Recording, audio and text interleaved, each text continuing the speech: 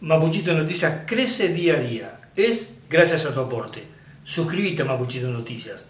Dale clic a la campanita. La provincia tiene un marco normativo para los convenios colectivos de trabajo en el sector público, pero bueno, es, una materia que nos queda este, aún pendiente de avanzar en, convenios específicos y es una decisión del gobernador Beretilnec de avanzar en ese sentido.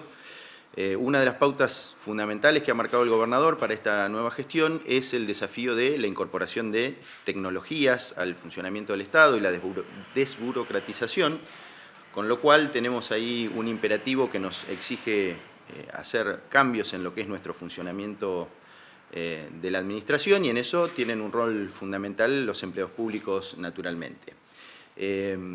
Ya desde el año 2021 tenemos este marco normativo que no, se ha llegado a implementar. El gobernador Tilnec intentó en el año 2019 arribar a un convenio colectivo con el decreto 759 del 2019, pero eh, no, se, no se logró, así que bueno, vamos a retomar hoy la, tarea. El convenio colectivo eh, consiste en, un marco de eh, negociación paritaria entre los empleados y el Estado, ¿sí? en el, en el, vamos a hablar del sector público. Argentina tiene una vasta experiencia en convenios colectivos en toda la segunda mitad del siglo XX en adelante, en materia privada, pero no ocurre lo mismo en materia de empleo público, donde la pauta ha sido regularmente que se regula de manera unilateral por el Estado mediante leyes y estatutos.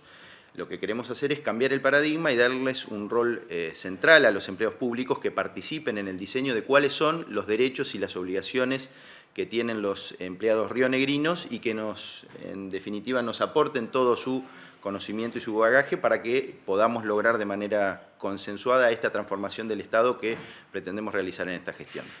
¿Ya están conformados los equipos de trabajo para seguir avanzando?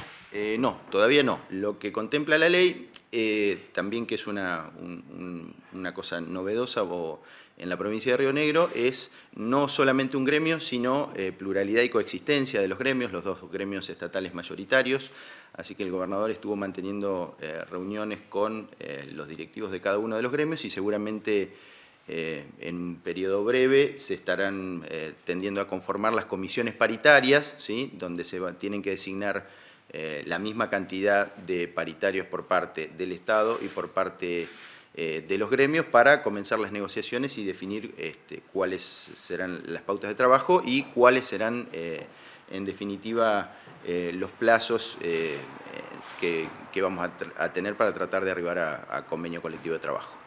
En vistas de esta reforma que se busca del Estado Río Negrino, ¿cómo cree usted que va a beneficiar al público y a los servicios que brinda justamente el Estado a través de esta nueva relación que va a haber entre los empleados y el Estado?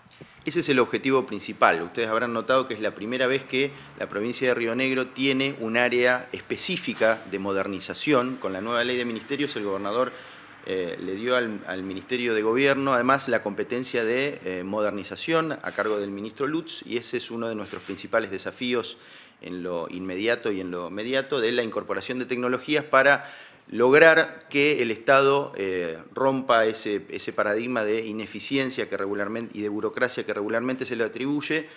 Eh, tenemos realmente un desafío que es eh, impostergable de la incorporación de tecnologías, de aplicaciones, de la utilización de Internet, de celulares y demás, que nos exige hacer cambios en los procedimientos administrativos, en los sistemas, y obviamente esto también repercute en lo que son los derechos, las obligaciones y las modalidades de trabajo con los empleos públicos. Crisis es oportunidad, estamos atravesando un momento que es muy difícil. Eh, aclaro que esta discusión en el marco de la Ley 5.506, que es la de convenios colectivos, no alcanza a la cuestión salarial. La cuestión salarial tiene su discusión específica en el marco del Consejo de la Función Pública, con la Ley 3052, que es, eso es algo en lo que Río Negro hace años que viene avanzando. Eh, pero bueno, esto es algo impostergable que vamos a encarar y esperemos que traiga buenos resultados para los rionegrinos.